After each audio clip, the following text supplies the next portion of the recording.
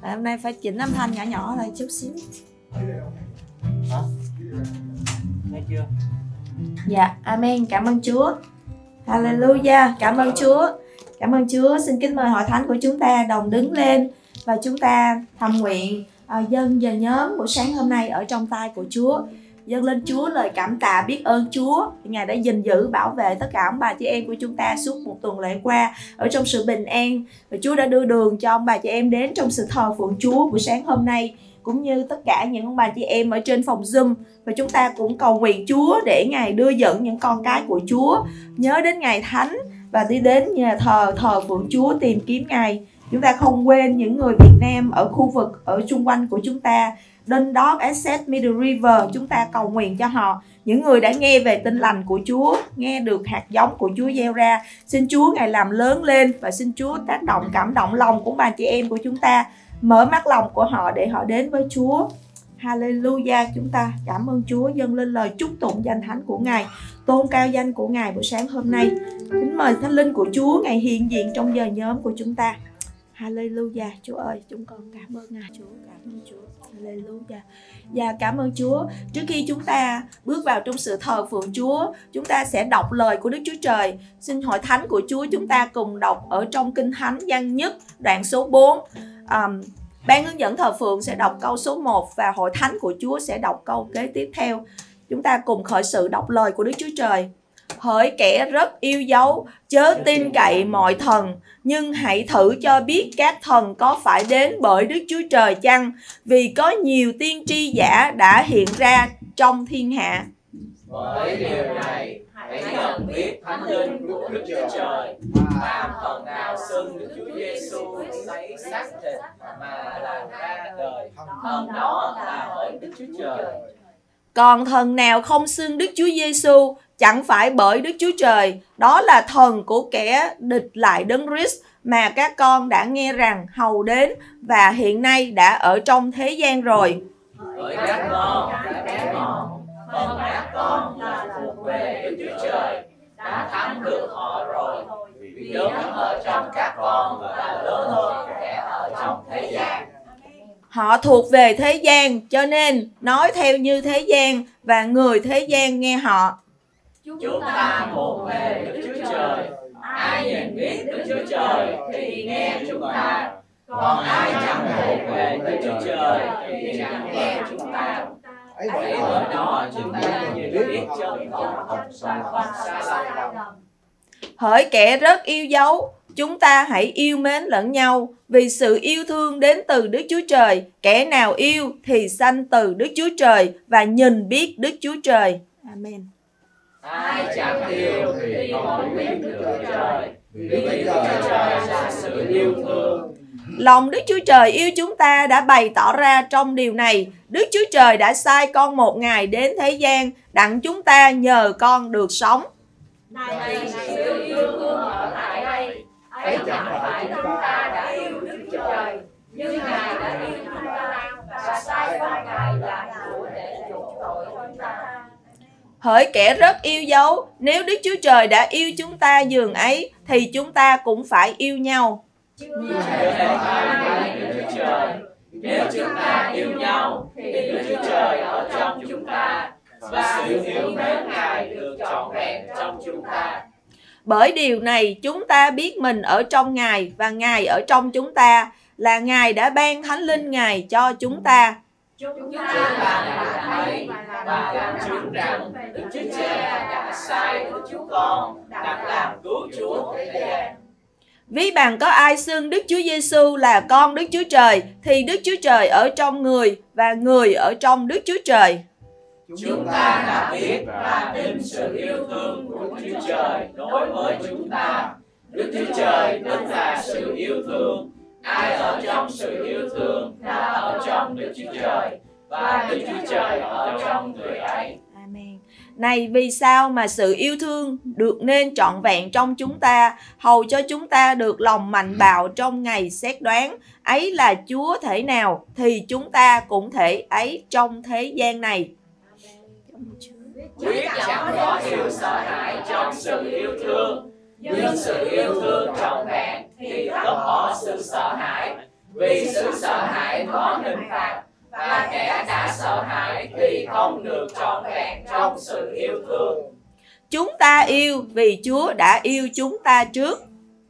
Vì có ai nói rằng ta yêu Đức Chúa Trời mà lại ghét anh em mình thì là kẻ nói dối. Vì kẻ nào chẳng yêu anh em mình thấy thì không thể yêu Đức Chúa Trời mình chẳng thấy được Amen. Chúng ta đã nhận nơi Ngài điều răn này, ai yêu Đức Chúa Trời thì cũng phải yêu anh em mình. Cảm ơn Chúa, chúng ta cùng nhau đọc chung với nhau câu 18, 19, 20 và 21 và chúng ta cùng khởi sự. Quyết chẳng có điều sợ hãi trong sự yêu thương, nhưng sự yêu thương trọn vẹn thì cắt bỏ sự sợ hãi. Vì sự sợ hãi có hình phạt và kẻ đã sợ hãi thì không được trọn vẹn trong sự yêu thương. Chúng ta yêu vì Chúa đã yêu chúng ta trước. Vì có ai nói rằng, ta yêu Đức Chúa Trời mà ghét anh em mình, thì là kẻ nói dối. Vì kẻ nào chẳng yêu anh em mình thấy, thì không thể yêu Đức Chúa Trời mình chẳng thấy được. Chúng ta đã nhận nơi Ngài điều răn này. Ai yêu Đức Chúa Trời thì cũng phải yêu anh em mình. Amen. Cảm ơn Chúa. Thì giờ này xin chúng ta hiệp một với mục sư Đặng Hồng Đức dân buổi nhớ buổi sáng hôm nay ở trong tay của Ngài.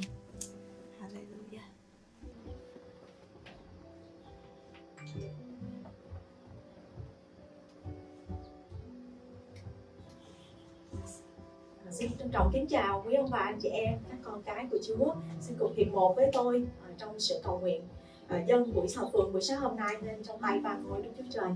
Cảm ơn Ngài Hallelujah. Chúa ơi chúng con biết ơn Đức Chúa Trời, toàn năng của chúng con. Trong buổi sáng hôm nay thật là phước hạnh và vinh hiển Ngài mang chúng con đến nhà của Ngài để thờ phượng Ngài. Chúa ơi chúng con yêu mến Ngài và trân quý Ngài. Cảm ơn Chúa giữa bao nhiêu người trong thế gian Ngài chọn lựa chúng con và để chúng con được đến gần với Ngài để được thờ phượng Ngài là con trai con gái ở trước mặt Chúa. Chúng con cảm ơn Ngài vì sự nhân từ và sự thành tín của Ngài còn đến đời đời Chúa ơi. Cảm ơn Ngài đã làm ơn cho chúng con. Cảm ơn Ngài đã lắng nghe lời cầu nguyện của chúng con. Cảm ơn Ngài đã giải cứu chúng con và mang đến sự chữa lành cho chúng con. Mời chúng con cảm ơn Ngài vì chúng con không sống là để làm theo lời của Chúa nổi nhưng thánh linh của Chúa ở với chúng con đồng hành với chúng con cầu thay chúng con và giúp sức cho chúng con để mỗi ngày chúng con được sống đẹp lòng Ngài. Chúng con cảm ơn Chúa thật là nhiều Chúa ơi. Ôi Chúa chúng con có mặt trong buổi sáng hôm nay. Chúng con thưa với Chúa lòng của chúng con yêu mến Ngài lòng của chúng con mở ra để kính mời sự hiện diện của thánh linh Ngài tràn ngập trên buổi thờ phượng. Buổi sáng hôm nay để tất cả chúng con ai nấy đều đến được gặp gỡ Ngài. Ôi được trao hết tất cả những gánh nặng những ưu tư phiền muộn của chúng con ở dưới chân thập tự giá. Chúng con tin rằng quyền năng của Đức Chúa Giêsu Christ quyền năng của sự phục sinh của Ngài có quyền năng thay đổi cuộc đời của chúng con. Một tiếng phát của Chúa cũng có thể thay đổi hoàn cảnh của chúng con. Vì vậy chúng con đặt trọn đức tin của chúng con ở nơi Ngài. Cha ơi xin lấy đi những sự ngột ngang những sự bối rối bất an ra khỏi tấm lòng của chúng con, những sự nghi ngờ ra khỏi chúng con, và đem đến chúng con sự bình an, đem đến cho chúng con đức tin ở nơi Ngài. Chúa dạy chúng con những kẻ đến gần Đức Chúa Trời, phải tin rằng có Đức Chúa Trời. Ngài là đấng hay thưởng cho những kẻ tìm kiếm Ngài, Chúa ơi. Chúng con cảm ơn Ngài nhiều lắm. Ôi xin dòng huyết của Chúa Giêsu Christ thanh tẩy chúng con, rửa sạch chúng con, dẫn chúng con bước vào trong sự hiện diện thánh của Chúa. Chúng con ước ao được thờ phượng Ngài. Chúng con ước ao được ngập tràn trong sự vinh hiển của Chúa. Cầu xin gieo ba chiếu sáng Ngài trên chúng con và làm ơn cho chúng con. Chúng con cảm ơn Ngài nhiều lắm. ôi chúng con tuyên bố Giêsu Christ của chúng con Ngài là Chúa là vua trên muôn vua đấng đang quản trị đấng đang tể trị trên hội thánh của Đức Chúa Trời. Các cửa phủ không thắng được hội thánh của Chúa. Nhân danh Chúa Giêsu chúng con khai phóng quyền năng của sự sức giàu sự chữa lành ôi sự nâng đỡ của Chúa. Ngài đang ngập tràn trong hội thánh của Ngài. Cũng như ở trên đường ở Zoom của chúng con tất cả đều được sự đụng chạm đổ đầy của thánh linh của Ngài. Chúng con cảm ơn Chúa. Chúng con kính dân thì giờ nhóm lại ở trong tay ba ngôi Đức Chúa Trời. Chúng con yêu mến Ngài. Chúng con dâng vinh hiển cho Chúa của chúng con. Chúng con thành tâm cầu nguyện trong danh Chúa Giêsu Christ. Amen. Hallelujah. Chúa chạm phá tay và chào đón sự hiện diện của Chúa. Buổi sáng cho thờ phượng, gửi lời chào đến tất cả con cái của Chúa, cũng như là ông bà, chị em ở trên phòng Zoom. Xin Chúa ban phước cho chúng ta. Mỗi buổi sáng chúng ta được gặp gỡ chính mình, Ngài. Amen. Cảm ơn Chúa. Chúng ta vỗ tay ngợi khen Chúa, lòng con sẽ mãi ca ngợi vì Giêsu đã yêu chúng con. Ngài đã đến trên thế gian này chết trên thập tự giá để cứu sự sống của chúng con, tha thứ mọi tội lỗi của chúng con và Ngài đã đến yên ủi chúng con. Chúng con cảm ơn Ngài để dẫn dắt cuộc đời của chúng ta qua bao nhiêu chúng ta đến gặp gỡ chính mình Ngài sáng hôm nay. Amen.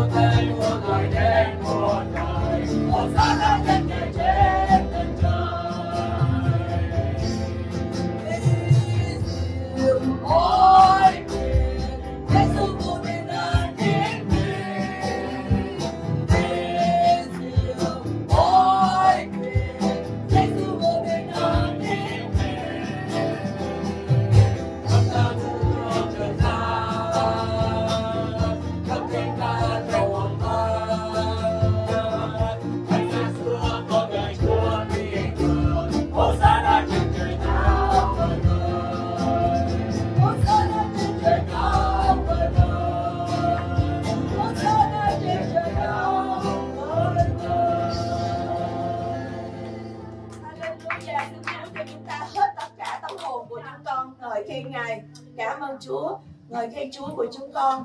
Vua đời đời, muôn dân suy tôn ngàn lời cùng dân lê xu của chúng con mọi vinh quang quyền năng thuộc về Chúa của chúng con. Hallelujah, chúng con ngợi khen Ngài Chúa ơi. Ngàn lời chúng con chúc tán Ngài. Sự vinh hiển thuộc về Chúa của chúng con. Hallelujah, Hallelujah, Hallelujah. Vua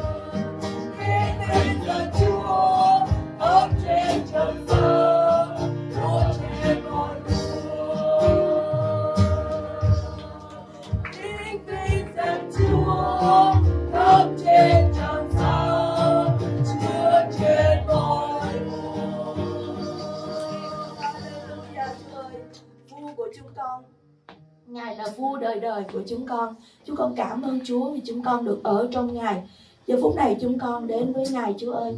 Xin Chúa Ngài che giấu chúng con ở dưới bóng cánh thiên của Ngài. Xin Chúa Ngài cướp đi khỏi chúng con những điều gì sợ hãi, những sự lo lắng ở xung quanh của chúng con những sự bất an trong đời sống của chúng con những sóng gió đang bủa vây trong cuộc đời của chúng con nhưng chính Chúa Giêsu ngài sẽ dẫn nơi chúng con thánh linh của Chúa sẽ dắt chúng con vượt qua mọi bão tố và đem chúng con đến gần với ngài xin che chúng con thoát khỏi những cái thế gian này, những cái sự bận rộn, những sự cái sự ngổn ngang trong cuộc đời của chúng con. Thì chúng con chỉ nhìn thấy ngài lại cha thánh hiện vinh vui trên dương gian, lòng của chúng con vững về khi biết cha luôn luôn ở cùng chúng con, Thì lời Chúa nói rằng ngài không lìa chúng con, ngài không bỏ chúng con. Chúng con cảm ơn ngài. Hallelujah. Xin tiếp tục bao phủ chúng con, Chúa ơi. Xin tiếp tục bao phủ chúng con và giữ chúng con ở trong cánh bóng toàn xin cho chúng con biết chạy đến với Chúa và nương dựa nơi ngực của ngài. Để thấy được sự an ủi của ngài. Xin dấu con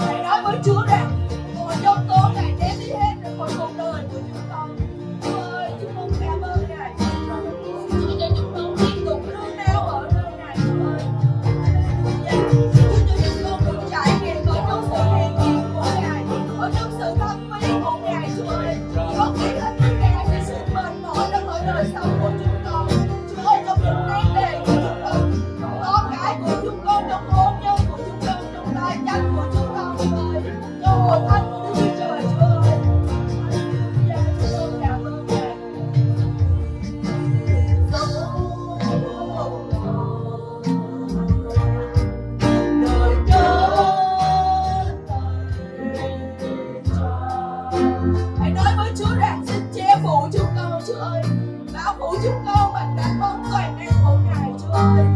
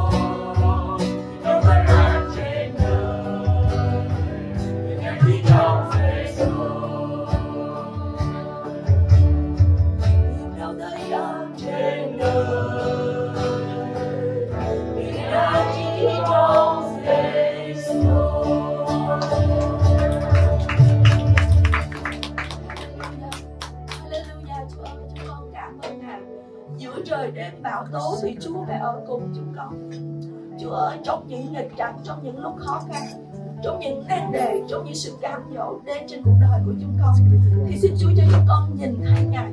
Xin Chúa mở mắt lòng của chúng con để chúng con nhìn thấy Ngài. Chúng con thương lòng của chúng con lên Ngài và chúng con tập trung Ngài. Chúa ơi, giúp cho chúng con ở những lúc chúng con để những nan đề, những đề cuộc đời của chúng con. Chúa những lúc chúng con nhìn thấy những hoàn cảnh xảy ra nó lớn hơn Chúa của chúng con. Chúa tha thứ cho chúng con. Và chúng con nói với những hoàn cảnh đó rằng đức chúng con thờ phượng là lớn hơn những kẻ chúng. Chúng con được đặt thẳng ở trong Ngài. Chúng con bước đi ở trong Ngài và chúng con đặt đức tin ở nơi Ngài của chúng con. Chúng con yên lặng chính Chúa Ngài là nơi chiến trận thay cho chúng con. Phần chúng con thì chúng con yên lặng và cầu nguyện Chúa ơi. Chúa ơi, buổi sáng hôm nay chúng con thưa với Chúa rằng chúng con cần Ngài. Chúng con cần sự đụng chạm của Ngài. Con cần sự thăm viếng của Ngài. Chúa ơi, Chúa biết rõ từng người một trong vòng chúng con tại nơi đây.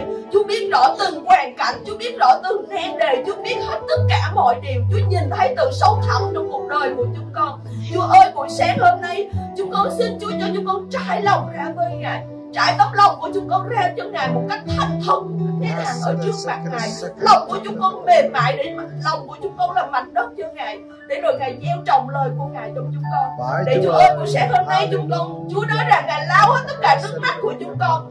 Những con tim đang bị vỡ thì Ngài sẽ chữa lành cho chúng con. Ngài rực lành những vết thương lòng của chúng con. Ngài chữa lành Ngài rực lành tất cả những rạn nứt ở trong gia đình của chúng con. trong hội thánh của Đức Chúa Trời trong giữa vòng anh chị em của chúng con.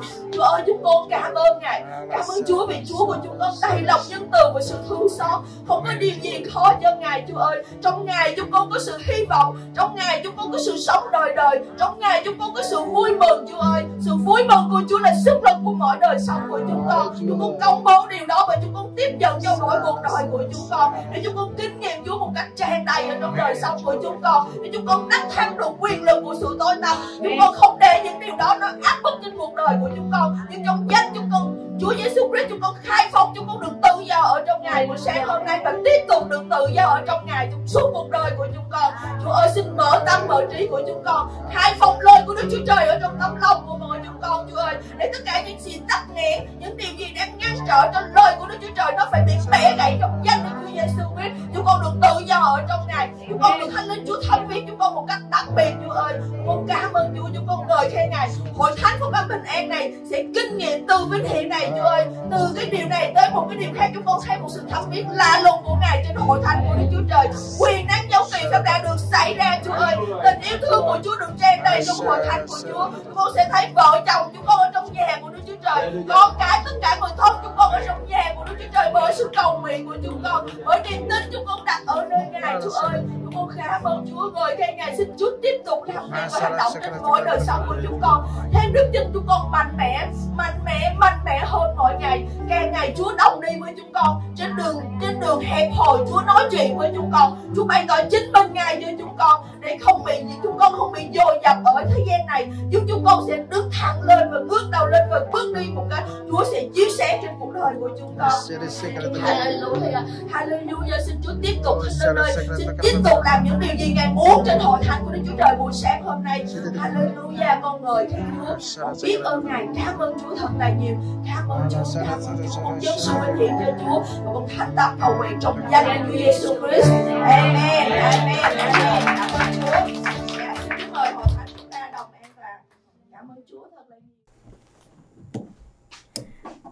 Dạ, xin trân trọng kính chào uh, quý tôi tớ của Chúa, uh, quý ông bà anh chị em có mặt ở tại nơi đây cũng như ở trên đường Zoom. Uh, Chúa ban phước cho tất cả quý vị. Thật là phước hạnh uh, cho tôi được có cơ hội để học lời Chúa chung với lại hội thánh. Tôi tin Thánh Linh của Chúa đang ở đây với chúng ta. Amen. Chúa đang ở đây với chúng ta. Sự hiện diện của Ngài ở trên hội thánh của Ngài uh, thật là phước hạnh để chúng ta được có những thời gian ở riêng với Chúa và ca ngợi Ngài. À, cảm ơn Chúa, à, Chúa dùng người chị em chúng ta chị Hồng để hướng dẫn trong buổi thờ phượng hôm nay rất là được phước hạnh phải không ạ? À, bài hát cuối cùng rất là cảm động trong tấm lòng của chúng tôi. Cảm ơn Ngài. À, hôm nay à, tôi à, muốn học à, với hội thánh à, với một cái đề tài đó là người tớ gái không tên tốt bụng. À, trong đời sống của chúng ta à, có rất là nhiều khi chúng ta gặp những người không tên à, nhưng mà họ mặc dầu ngay cả khi chúng ta không biết tên của họ nhưng mà họ là những người rất là tốt họ đến để giúp đỡ chúng ta và được Chúa sai đến để giúp chúng ta trong cái thời điểm mà chúng ta cần à, ngay cả khi mình chưa có dịp có cơ hội để hỏi tên của họ à, nhưng mà uh, họ đã giúp đỡ cho chúng ta. Uh, có một lần khi mà ờ, hai mươi mấy hai mươi khoảng 20 năm về trước uh, khi chúng tôi uh, đến nước Mỹ này uh, thời gian mà khi chúng tôi trên cái hành trình từ Việt Nam qua Mỹ uh, chúng tôi bị uh, ngưng ở nhâm ngưng lại ở chỗ một số cái trạm của uh, sân bay uh, chuyển từ máy bay này qua đến máy bay khác. Hoàn toàn chúng tôi không biết một chữ tiếng Anh nữa. Và uh, lúc đó thì uh, khi chúng tôi trên cái hành trình như vậy chúng tôi rất là lo lắng. Nói chú ơi con không biết là chuyển hành lý rồi đi như thế nào máy bay từ đây qua từng chặng như thế nào. À, xin chú gửi người đến để giúp đỡ cho chúng con. Và quả thật sau đó chú gửi một người thanh niên Việt Nam tới quý vị. À, và anh ta cũng đi trong cùng cái hành trình ờ, anh ta biết cái cái con đường đó đó. Cái và sau đó anh ta dẫn chúng tôi nào là giúp phụ chúng tôi hành lý rồi dẫn chúng tôi đến ngay cái cái cho đến ngay cái cửa của máy bay đó luôn. À, và sau đó thì anh ta đi và chúng tôi cũng chưa kịp để hỏi tên của anh ta là tên gì để có thể cảm ơn ảnh nữa. À, rồi trong cuộc sống của chúng tôi có nhiều khi à, Chúa đem người đến để mà giúp đỡ à, cho đời sống của mình. À, một cái công việc nào đó à, nhưng mà chúng ta chưa có dịp để hỏi tên của họ. Nhưng mà điều đó không có nghĩa là à, họ không có à, họ không tốt quý vị. Họ là những người à, được Chúa gửi đến để giúp đỡ cho chúng ta. À, có đôi khi trong cuộc sống của mình à, Chúa cũng sẽ gửi đến những con người à, giúp cho mình trong một cái nhu cầu hoàn cảnh rất là cần. Và ngay cả khi mình không có dịp để hỏi tên người đó nhưng trong sâu xa trong lòng mình mình biết ơn Chúa và biết ơn Chúa đã đem những người đó đến để giúp đỡ cho mình. Và hôm nay à, tôi muốn học với quý vị với cái đề tài người tớ gái không tên tốt bụng này. À, để qua cái cuộc đời của cô gái này à, đã đem đến một cái sự biến đổi à, đem đến một cái sự phước hạnh à, cho một người à, đàn ông cho một người chỉ huy ở ở trong quân đội của vua à, Syria ờ, đó chính là ờ, câu chuyện của Naaman được chữa lành khỏi bệnh phung. Ờ, chúng ta sẽ cùng xem lời của Chúa trong các vua thứ nhì à, đoạn số 5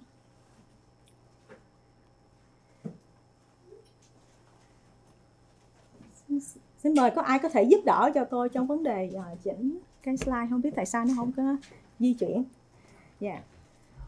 em để cái con chuột bấm vô ngay bên này mà Dạ. Dạ, xin kính mời chúng ta đồng đứng lên à, để chúng ta được đọc lời của Chúa ở trong sách các vua nhì và đoạn số 5. À, chúng ta sẽ đọc từ câu 1 cho đến câu số 6 và sau đó thì chúng ta sẽ đọc từ câu 9 à, cho đến câu số 15. Dạ, đã có ở trên màn hình. Thì xin chúng ta cùng nhìn màn hình để đọc chung ạ. Dạ, xin kính mời.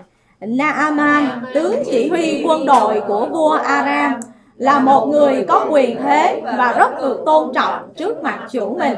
Vì qua ông, Đức Giê-hô-va ban chiến thắng cho dân Aram. Tuy là một chiến sĩ dũng cảm, nhưng Naaman lại mắc bệnh phong hủi. Lúc ấy, các toán quân đội kích của Aram đi ra và bắt một thiếu nữ từ đất Israel đem về làm tớ gái cho vợ Naaman. Một hôm, nó nói với bà chủ, ôi, phải chi ông chủ con đi đến với ông tiên tri ở Samari. Ông ấy sẽ chữa cho ông chủ khỏi bệnh phong hủi. Naaman đem các lời này thuật lại cho chủ mình rằng, đứa tớ gái Israel có nói thế này, thế này. Vua Aram nói, thế thì ngươi hãy đi, ta sẽ gửi thư cho vua Israel. Vậy, Naaman với ngựa và xe đến dừng trước cửa nhà Elise. Elise sai một sứ giả nói với ông, Hãy đi tắm bảy lần dưới sông Jordan, Thì da thịt ông sẽ lành Và ông sẽ được sạch. Nhưng Naaman nổi giận, bỏ đi và nói, Ta nghĩ rằng chính ông ấy sẽ đi ra đón ta. Đứng gần mà cầu khẩn danh Jehovah Đức Chúa Trời của ông ấy đưa tay qua lại trên chỗ bệnh và chữa lành cho ta.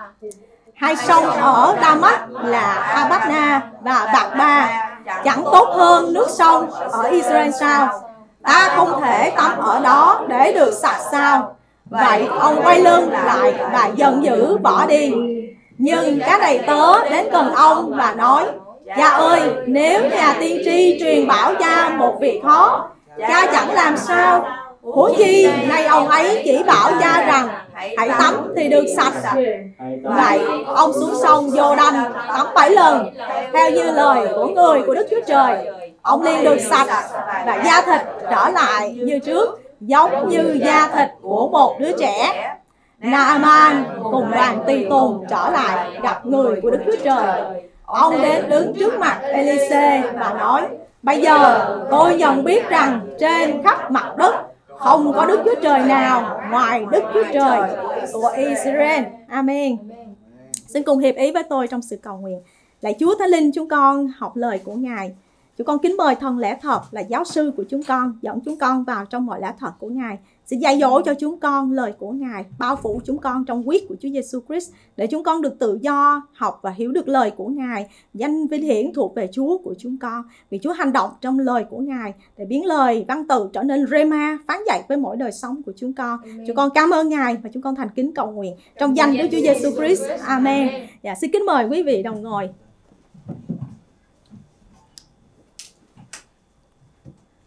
Cảm ơn Chúa vì đây là một câu chuyện à, chắc quý vị trong hành trình đi theo Chúa ít nhất là trong một lần chúng ta đã được nghe câu chuyện này. À, một câu chuyện à, rất là thú vị nhưng mà nói về tình yêu của Đức Chúa Trời là đấng à, đã mang đến cái sự chữa lành cho một người à, tướng chỉ huy à, quân đội à, là Naaman là một người à, thuộc về quốc gia Syria và hôm nay chúng ta sẽ học về cái câu chuyện này. À, sở dĩ người tướng Naaman này được cái sự chữa lành khỏi cái bệnh phung đó là bởi vì có cái người đầy tớ gái này à, đã đến để nói à, cho bà chủ của mình. À, người tớ gái này chúng ta học được một số điều à, về đời sống của cô. Đây là một người do thái à, bị bắt qua nước syria làm nô lệ. À, khi mà dân syria đến để đánh à, nước israel thì bắt cô gái này đi. Lúc đấy cô gái này còn rất là trẻ và bị bắt qua để làm nô lệ cho gia đình, cho bà chủ và khi mà cô ta ờ, bị bắt qua làm nô lệ, tôi tin rằng trong tấm lòng của cô ta cũng mang đến một cái sự tổn thương, phải không ạ? Cũng mang đến một cái điều thương nhớ gia đình của mình, tại vì cô ta xa gia đình cha, mẹ, anh chị em, những cái điều thân thuộc của mình và bị bắt qua để làm nô lệ cho một kẻ thù của mình thì cái tâm lòng của cô ta uh, có những cái điều tổn thương trong đời sống của mình. Rồi đây là một người rất là bình thường tầm thường không ai để ý tới. Và thậm chí chúng ta đọc cái đoạn kinh thánh này chúng ta cũng không biết tên của cô ta là tên gì nữa. À, và chúng ta cũng không biết cô ta bao nhiêu tuổi. Nhưng mà cô ta đã làm một cái điều à, rất là phi thường. À, tưởng chừng như đơn giản nhưng mà cô ta đã dám nói cho bà chủ của mình à, biết về ở trong Israel có một người tiên tri và có thể đem đến sự chữa lành, bình phung cho người chủ của mình. À, và người tớ gái này đã can đảm để nói về cái ờ, về cái cái cái quyền năng sự chữa lành đó cho cái người chủ của mình, cho bà chủ của mình. Vì cô ta có một cái tấm lòng muốn thấy người chủ của mình nhận được sự chữa lành. Từ nơi Chúa. Và quý vị thấy, đối với một cái tấm lòng mà khi bị ở trong một đất nước ngoại bang ở trong đất nước kẻ thù của mình. Nhưng mà tấm lòng của người tớ gái này có một cái tấm lòng của đức chúa trời. À, thương cái người chủ ông chủ của mình đang bị mắc bệnh phung và đang đau khổ vật vả với căn bệnh này. À, đang sống trong một cái sự khốn khổ về bệnh tật ngày đêm hành hại bởi những cái cơn đau của nó. Và cái người tớ gái này quý vị thấy tấm lòng của cô ta có một cái tấm lòng thương xót tình yêu của đức chúa trời trên đời sống của cô vượt lên trên cả cái lòng hận thù và cay đắng nữa. À, chỉ có chúa mới có thể làm được trong cái tấm lòng này. Và quý vị thấy khi một cái người mà có một cái tấm lòng dâng cho chúa ngài cũng có thể sử dụng những con người bình thường để làm những công việc phi thường cho chúa. À, mỗi đời sống của chúng ta à, có thể không ai trong chúng ta có thể làm những cái công việc quá là lớn lao và vĩ đại phải không ạ? Nhưng mà chúng ta có thể làm những công việc nhỏ với một cái tấm lòng vĩ đại cho chúa. Với một cái tấm lòng thương yêu với tấm lòng thương xót của chúa ở trên đời sống của mình. Và người tớ gái này đã đến để mà nói về chúa ờ, nói cho bà chủ của mình biết. Ở tại Israel có một nhà tiên tri để mang đến cái sự chữa lành uh, cho đời sống của ông chủ của mình. Và quý vị thấy với một cái tấm lòng này và đã đem đến sự chữa lành cho người uh, ông chủ của mình. Uh, tất cả những gì chúng ta làm chúng ta hãy vì danh của Chúa Giêsu mà chúng ta làm. Và chúng ta hãy làm hết lòng bởi vì chúng ta đang làm cho Chúa của mình. À, chúng ta không phải làm nửa vời không phải nói chỉ để nói mà thôi không phải làm chỉ để làm mà thôi. Nhưng mà chúng ta biết rằng chúng ta đang làm cho Chúa của mình. Và chúng nên chúng ta phải làm hết lòng mà làm. Nên quý vị thấy nếu mà cái tinh thần uh, mà làm hết lòng làm cho Chúa, vì danh của Chúa và làm để mà tôn vinh danh của Chúa ở trong mỗi đời sống của chúng ta, thì bất cứ nơi nào quý vị đi đến đâu, quý vị là nguồn phước ở tại nơi đó. Những người chủ sẽ rất là quý trọng mình, là bởi vì họ thấy được cái công việc, tấm lòng của chúng ta tận tụy trong cái công việc đó và làm vinh hiển danh của Chúa nữa. Và không phải như vậy không, nhưng mà chúng ta đang làm sáng danh Đức Chúa Trời ở tại nơi công sở của mình. Sáng danh Đức Chúa Trời ở tại nơi chỗ làm bất cứ nơi nào mà Chúa đặt để chúng ta ở tại nơi đó trong Kinh Thánh Chúa cho chúng ta thấy Colosse đoạn 3 câu số 17 Chúa nói rằng bất cứ điều gì anh em nói hay làm hãy thực hiện mọi sự trong danh của Chúa là Đức Chúa Giêsu mà nhờ Ngài tạ ơn Đức Chúa Trời là Đức Chúa Cha.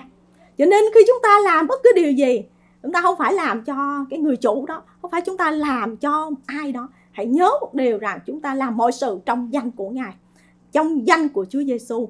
Mọi sự chúng ta làm vì cớ danh của Ngài quý vị. Và khi Ngài vì cớ danh của Ngài thì Ngài được vinh hiển trong đời sống của chúng ta. Cô-lô-xe đoạn 3 câu 23 câu 24 Chúa nói rằng khi làm bất cứ lực việc gì Hãy hết lòng mà làm như làm và cho Chúa chứ không phải làm cho người ta và khi chúng ta mang một cái tinh thần này đó quý vị thì chúng ta nhận ra được rằng chúng ta đang làm cho Chúa của mình. À, chúng ta đang làm cho Chúa. Chúng ta đang phục vụ một người chị em đó. Có nghĩa là chúng ta đang phục vụ cho Chúa. Chúng ta đang đi thăm viếng một ai đó. Có nghĩa là chúng ta đang thăm viếng cho Chúa đó. Chúng ta đang đi chăm sóc đang đối xử tốt với họ đó. Là chúng ta đang làm cho Chúa đó quý vị. Bởi vì Chúa là đấng thưởng cho những người phục vụ cho Ngài.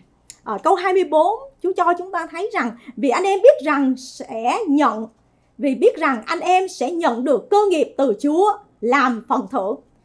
Anh em đang phục vụ đấng Christ là Chúa. Cảm ơn Ngài.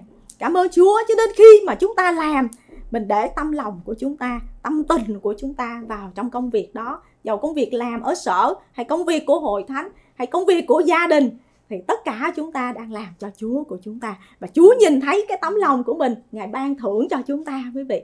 Niềm vui khi chúng ta hoàn tất cái công việc đó và nhìn thấy được cái kết quả tốt lành đáng nó phải được xảy ra như vậy.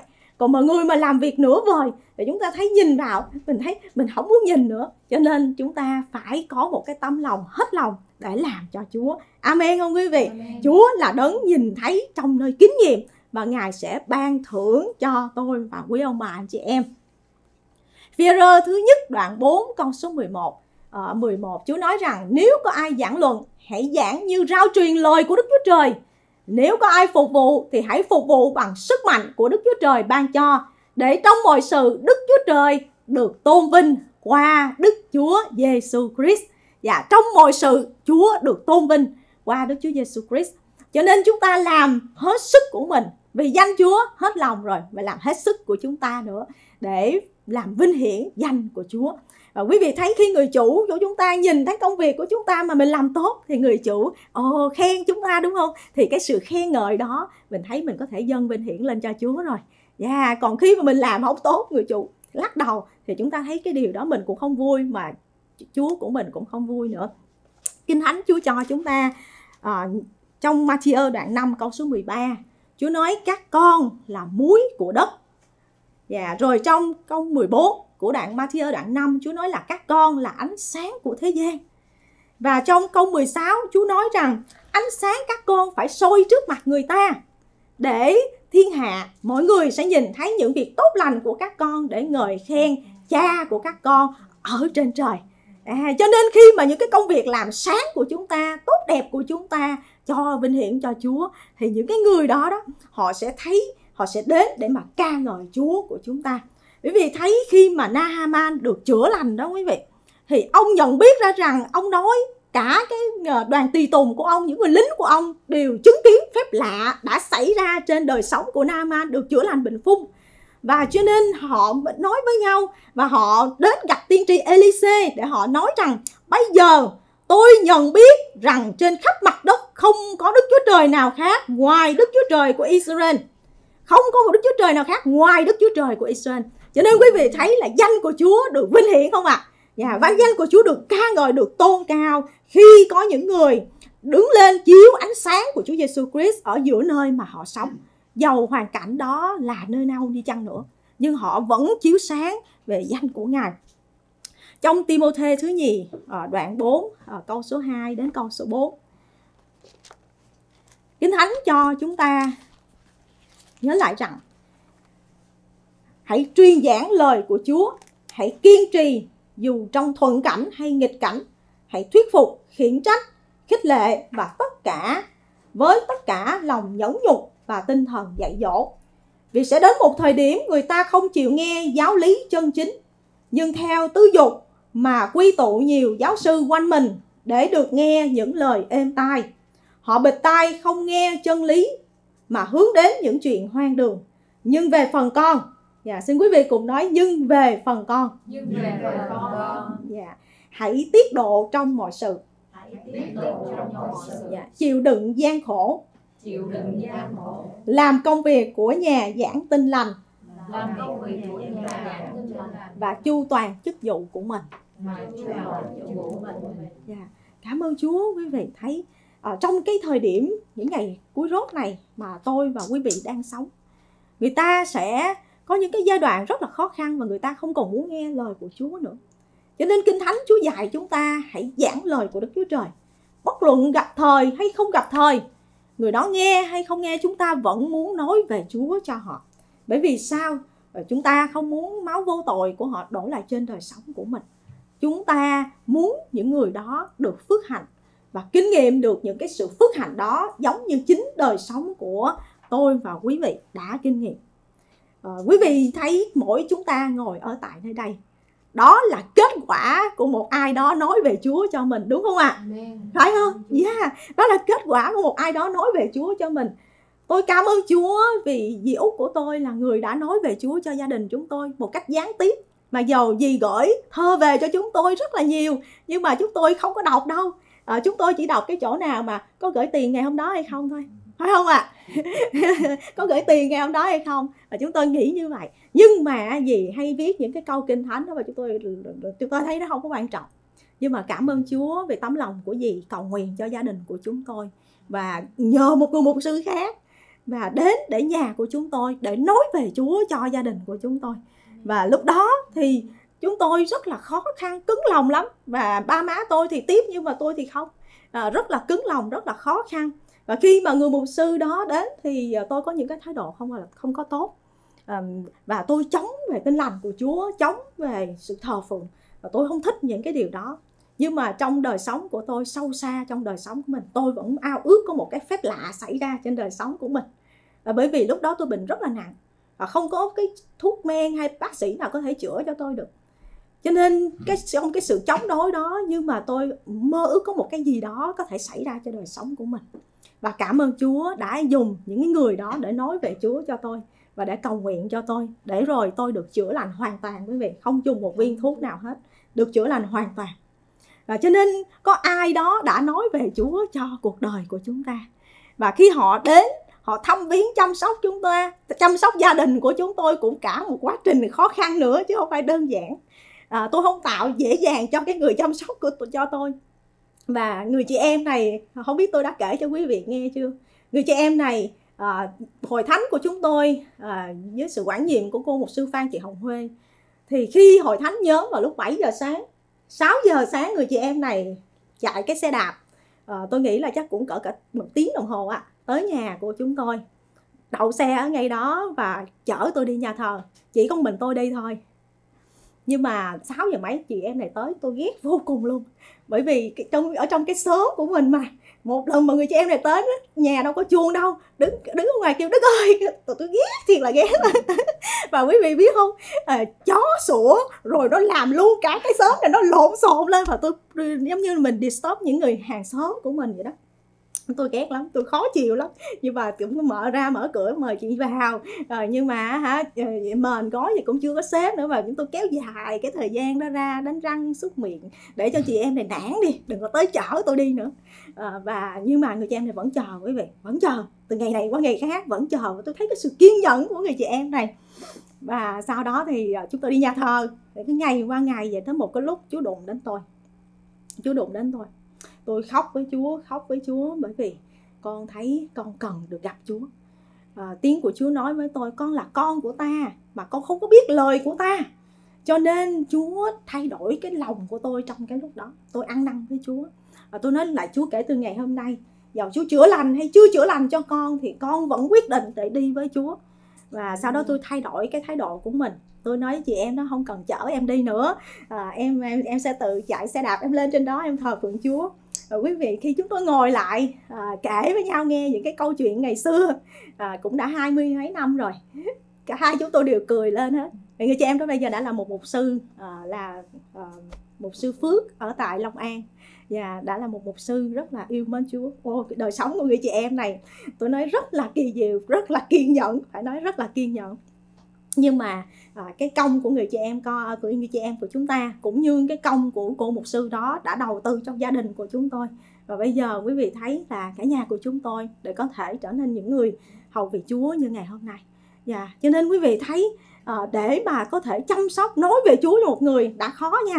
Mà chăm sóc cái người đó còn khó hơn nữa. Nhiều thời gian hơn và đòi hỏi cái sự kiên nhẫn và cái tấm lòng yêu thương của chúng ta ở tại nơi đó cho nên quý vị thấy Chúa có thể sử dụng những con người tầm thường như tôi và quý vị để làm những cái công việc phi thường cho Chúa mà mình không hiểu được à, trong cái suy nghĩ của chúng ta một cái câu chuyện à, mà à, tôi được có cơ hội để đọc đó là nói về câu chuyện của David C. Flood đây là một người à, hai vợ chồng của nhà truyền giáo này đã gieo lời của Chúa ở trong nước mắt. Họ là những người Thụy Điển được Chúa kêu gọi đến vùng đất Phi Châu để mà hầu việc Chúa ở tại nơi đó. Và khi họ đến cùng với đứa con trai ờ, và gặp được một đôi vợ chồng khác, bốn người đó đã hầu việc Chúa ở tại cái vùng đất này nhưng mà khi đến thì những người trưởng, những người trưởng làng cùng với những người dân ở tại đó, họ chống đối, họ không có tiếp và họ không, cho nên không thể tiếp cận được với dân làng ở tại nơi đó và họ phải dựng lên một cái lều uh, bằng bùn mà tôi không hiểu là bằng bùn sống như thế nào mà họ dựng lên một cái liều sống như vậy. Để mà uh, một cái uh, ngày qua để mà họ ở tại nơi đó họ cầu nguyện cho cái vùng đất ở tại nơi đó. Họ bỏ cái nơi yên cái nơi tiện nghi của mình để đến một cái vùng đất uh, rất là khó khăn. Uh, và nạn uh, về vấn đề về sốt rét rừng lên rất là cao. Và quý vị thấy nó cướp đi cái sinh mạng của người vợ của ông rồi sau đó cướp đi sinh mạng của hai vợ chồng của hai uh, của hai người giáo sĩ đó. Nhưng mà ngày qua ngày khi họ ở tại cái khu làng đó ở tại cái vùng đó người mà họ tiếp cận đó chính là cậu bé bán trứng gà. Bán trứng và bán gà lúc lúc bấy giờ. À, bởi vì dân làng không ai đến để gặp. Nhưng mà cậu bé này ngày à, hai lần trong một tuần lễ có thể đến để bán trứng và bán gà và cô vợ uh, người vợ đã đến để nói về Chúa tiếp cận với cậu bé này để rao giảng lời Chúa cho cậu bé này. Và quý vị thấy khi mà rao giảng lời của Chúa và khi mà uh, những cái người uh, giáo sĩ này họ gặp những cái sự khó khăn về vấn đề về sốt rét rừng vợ của giáo sĩ này cô vợ đã chết năm 27 tuổi. Rồi những người hai người giáo sĩ kia cũng chết. Cho nên ông mang một cái sự tổn thương. Ông David Flood ông mang một cái sự tổn thương quá lớn. Và trước khi vợ chết thì có để là một đứa con nữa sống ở tại cái vùng đất đó. Và ông bị tổn thương quá nặng ông phải trở về quốc gia của ông và trao cái đứa con uh, vợ sinh ra mà qua đời đó cho một cái người khác để nuôi. Và quý vị biết hơn vả 25 năm sau những năm sáng sau đó thì cái cậu bé bán báo cậu bé bán trứng này có cơ hội để được gặp lại cái người con gái à, vợ chồng của ông David à, uh, Flood và khi mà gặp lại như vậy thì lúc bây giờ cậu ta đã trở nên một nhà truyền giáo. Và dưới cậu ta đã có hơn 110 hội thánh à, 110 ngàn người xin lỗi quý vị 110 ngàn người tin nhận Chúa. Và khi mà người vợ này qua đời quý vị họ không biết rằng họ đã để lại một di sản về đức tin quá lớn ở tại cái vùng đất ở nơi đó. Và 600 người đã được tiếp nhận Chúa qua cậu bé này. Bởi vì hai vợ chồng thì không thể nói về Chúa cho dân làng đó được, nhưng mà cậu bé này thì có thể được. Khi cậu bé này tin Chúa rồi, quý vị, cậu bé này tiếp cận với người trưởng làng ở tại nơi đó và những người dân ở tại nơi đó và thế là 600 người đã được tiếp nhận Chúa tại nơi đó. Cho nên quý vị thấy đôi khi cái hạt giống của mình nhỏ tưởng bỏ ra là vô nghĩa nhưng mà Chúa lại có một cái chương trình và một cái kết quả cho cái điều mà chúng ta phục vụ mà mình không biết được. Cho nên Thi Thiên 126 câu số 5 Chúa nói rằng người nào gieo giống bằng giọt lệ thì sẽ gặt hái một cách vui mừng, gặt hái cách vui mừng. Và thực sự khi mà cô gái này lớn lên, quý vị có cơ hội về thăm lại cái bản làng ở tại nơi đó, thì họ ờ, và cô ta nhìn thấy người dân làng ở đó trân quý đôi vợ chồng giáo sĩ này, giống như những người uh, cha mẹ thuộc linh đã gửi uh, lời của Chúa và chính cái sự thay đổi cộng đồng thay đổi đức tin của họ đời sống của họ. Bây giờ họ sống cho Chúa một cách rất là mạnh mẽ. Nhưng mà bây giờ người nhưng mà trước nhưng mà sau đó thì người cha thì sao? Người cha sống năm 73 tuổi.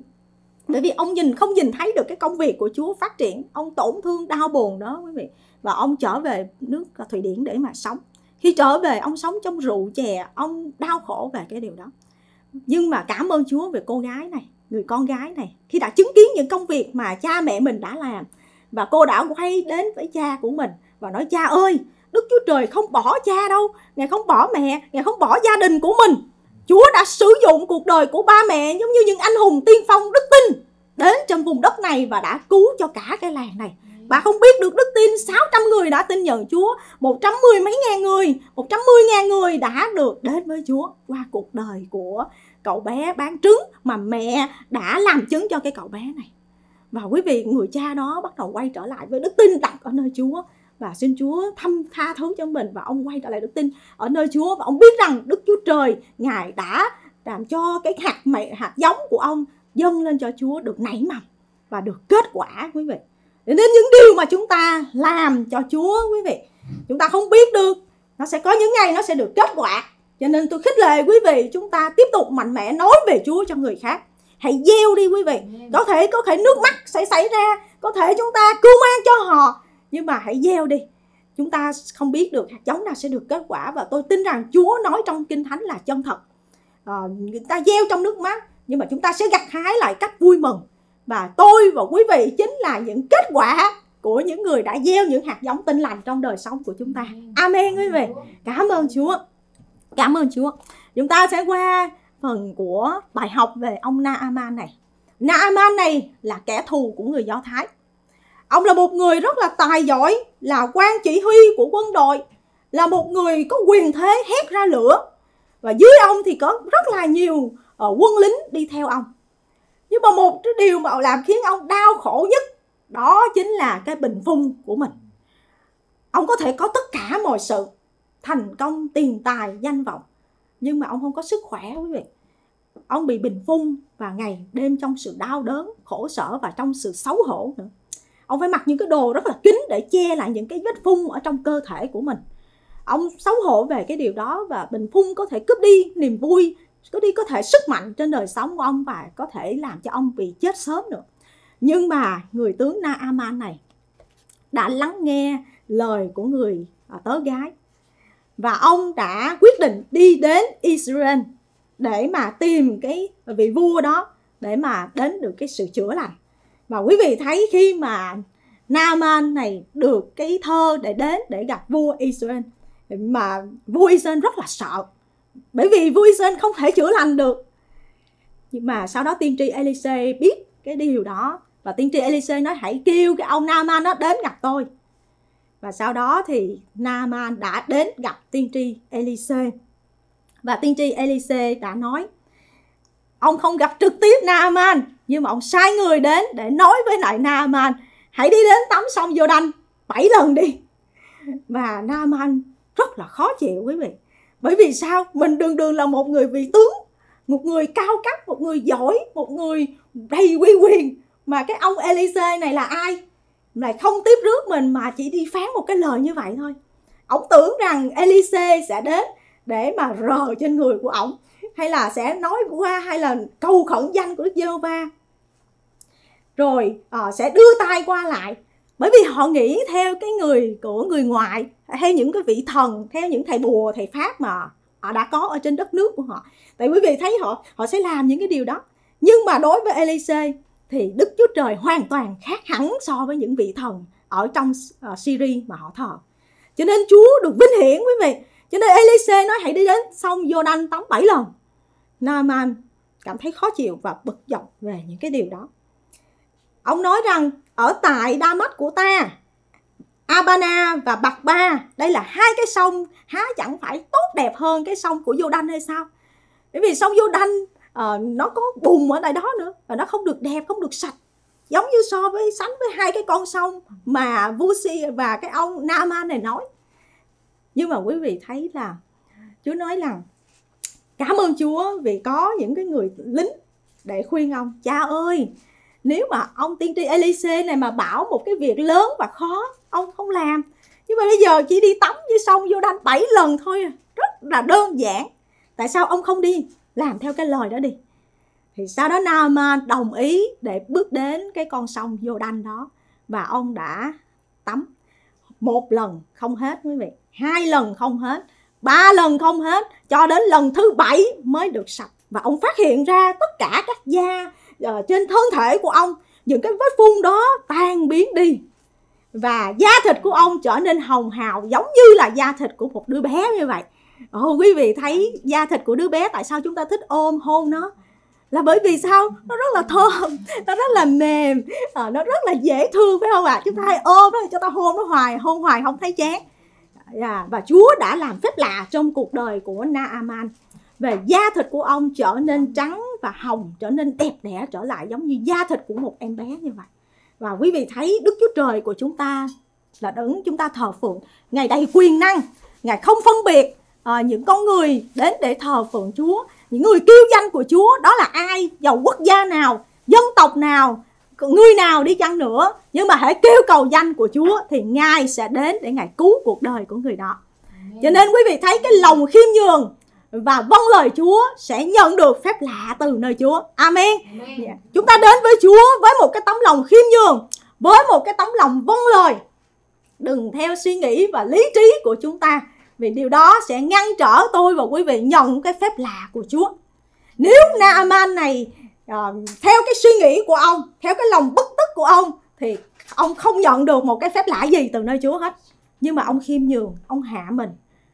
Ông vâng theo lời của Chúa và ông nhận được cái phép lạ từ nơi Chúa quý vị. Kinh Thánh Esai đoạn 57 câu số 15. Chúa nói rằng đấng cao cả, đấng được tôn cao, ngự nơi đời đời vô cùng, danh Ngài là thánh. Đấng ấy phán, ta ngự trong nơi cao và thánh, nhưng cũng ở với người ăn năn đau đớn và tâm linh khiêm nhường.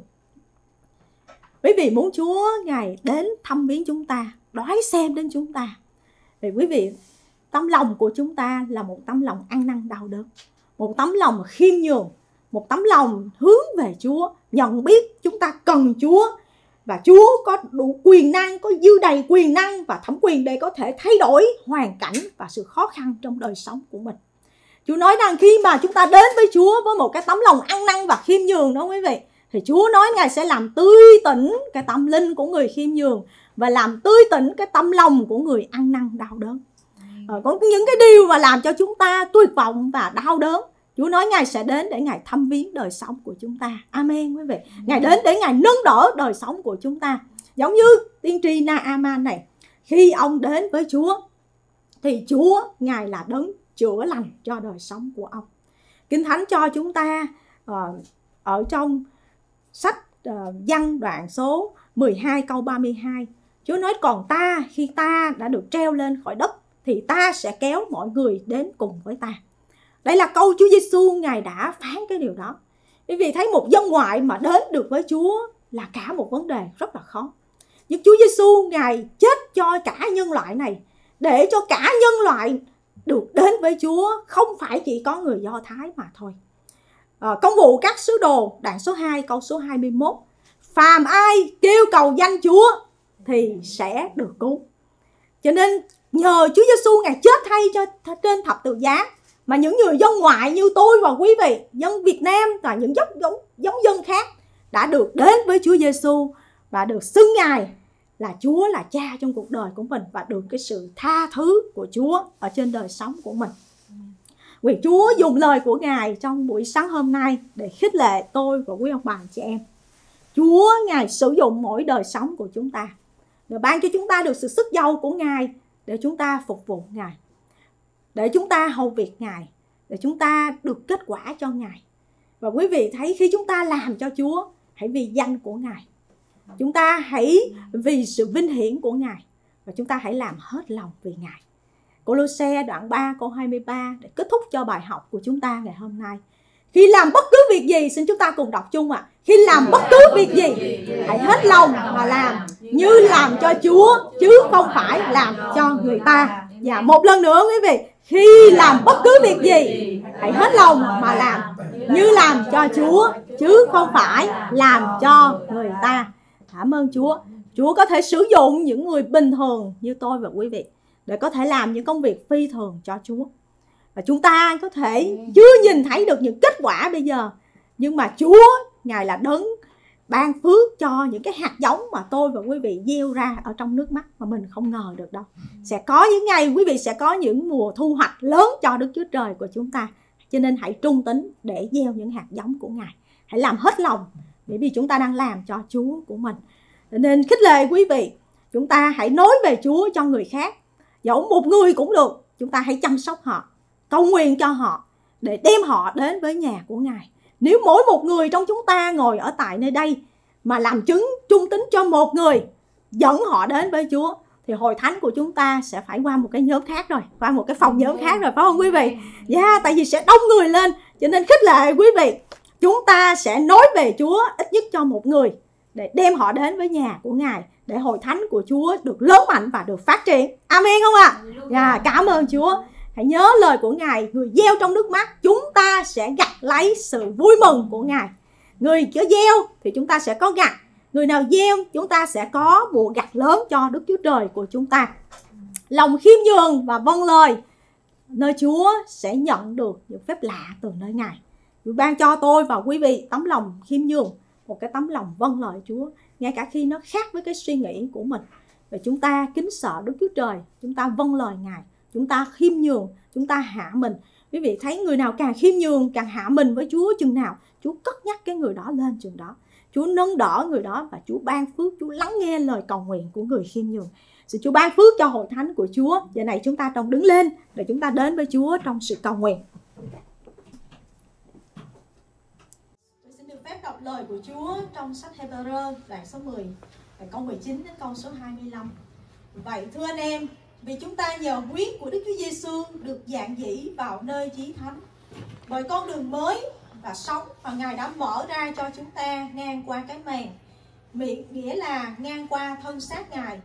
Lại vì chúng ta có một thầy tế lễ vĩ đại được lập lên cai trị nhà Đức Chúa Trời, nên chúng ta hãy lấy lòng chân thật với niềm tin vững chắc, lòng được tẩy sạch khỏi lương tâm ác, thân thể rửa bằng nước tinh khiết mà đến gần Chúa chúng ta hãy giữ vững lời tuyên xưng về niềm hy vọng không chuyển lay của chúng ta.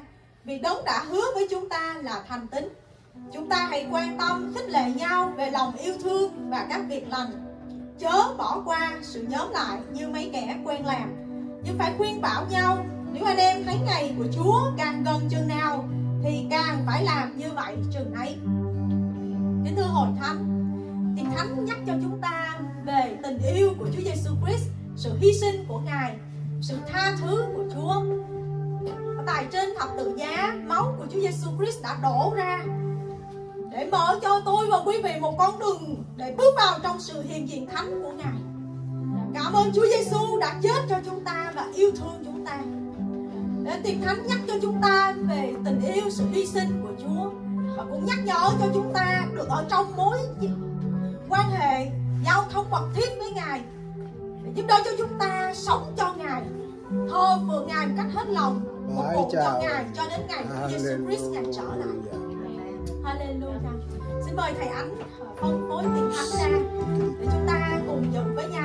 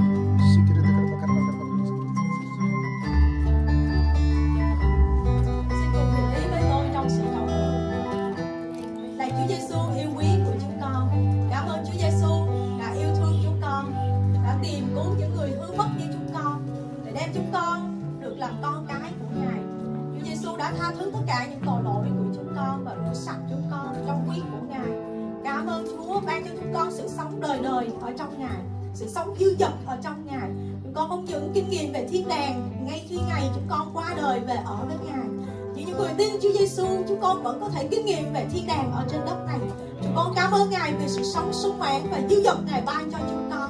Đừng để cho chúng con quên ơn của Ngài. Nhưng hãy cho chúng con mỗi ngày sống, chúng con biết ơn Chúa và rao truyền lời của Chúa, Rao truyền tình yêu của Ngài cho những người chưa biết về Chúa, để họ cũng kinh nghiệm những phước hạnh như chính chúng con đã kinh nghiệm, Chúa ơi. Giờ này chúng con dự tiền thánh. Cầu xin huyết của Chúa Giêsu Christ thanh tẩy, tha thứ tất cả những tội lỗi của chúng con, để chúng con có thể xứng đáng để dự tiền thánh này xin Chúa làm cho tấm lòng của chúng con tiếp tục nóng cháy cho Chúa yêu Ngài kính sợ Ngài hết lòng bước đi với Ngài. Chúng con cầu nguyện để xin Chúa cũng ban bởi dòng huyết của Ngài để công bố sự chữa lành của Chúa trên thân thể của chúng con sự giải cứu của Chúa trên cuộc đời của chúng con. Để chúng con được tự do và sống cho Chúa của chúng con. Chúng con cảm ơn Chúa nhiều lắm. Chúng con biết ơn Ngài và thành kính cầu nguyện. Trong danh Chúa Giêsu Christ. Amen cơ hội thánh, xin chúng ta cầm cầm bánh trên tay của mình. Bánh tượng trưng cho thân thể của Chúa Giêsu Christ đã nát tan vì cớ tội lỗi của tôi và quý ông bà chị em của cả nhân loại này. Để rồi chúng ta nhận được sự phước hạnh của Ngài xin chúng ta cùng giữ bánh này biết ơn Ngài.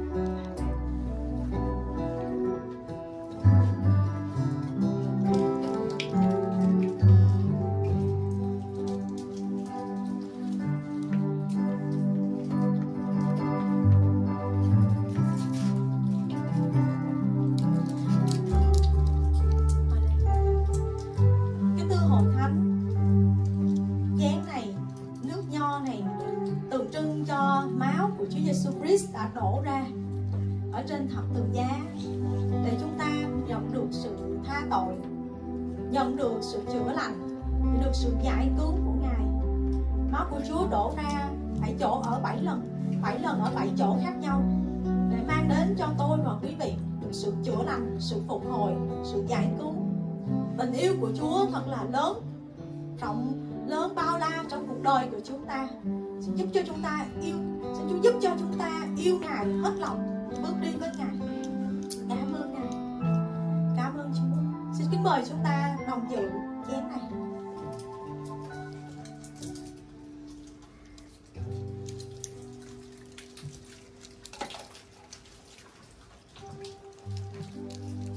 Lạy Chúa, chúng con biết ơn Ngài. Đã yêu thương chúng con. Cảm ơn Ngài thật là nhiều. Là người nhìn bề ngoài nhưng Chúa nhìn thấy trong tấm lòng của chúng con Vì Chúa ban cho tấm lòng này luôn khiêm nhường Một tấm lòng ăn năn Tấm lòng mềm mại ở trước mặt Chúa. Và tấm lòng sống cho Ngài Chúa ơi. Lạy Chúa vì Thánh Linh Ngài giúp đỡ mỗi đời sống của chúng con Và ban phước cho chúng con. Cầu xin Giê-hô-va Đức Chúa Trời chiếu sáng mặt Ngài trên chúng con Và làm ơn cho chúng con. Cầu xin Đức Giê-hô-va đoái xem chúng con Và ban bình an cho chúng con gìn giữ chúng con ở trong ơn của Ngài. Cầu xin tình yêu thương của Đức Chúa Cha, ân điển của Đức Chúa Giêsu Christ, quyền năng thông công của Đức Thánh Linh hằng ở với chúng con, làm cho chúng con được kết quả, làm chúng con được mạnh mẽ, được trưởng thành đời sống tâm linh của chúng con bước đi với Chúa mỗi ngày. Chúng con sống cho Ngài và nói về Chúa cho người khác. Cho đến ngày của Chúa Giêsu Christ Ngài tái lâm. Amen. Ban phước cho hội thánh của Chúa. Chúng ta cùng cầu nguyện chung. Lạy Cha chúng chúng con trên trời, danh cha. Được tôn thánh, nước cha được đến ý cha được nên ở đất như ở trời xin cho chúng con hôm nay đồ ăn đủ dùng, xin tha tội lỗi cho chúng con, như chúng con tha kẻ phạm tội của chúng con. Xin để chúng con không cám dỗ, song cứu chúng con khỏi điều ác. Vì nước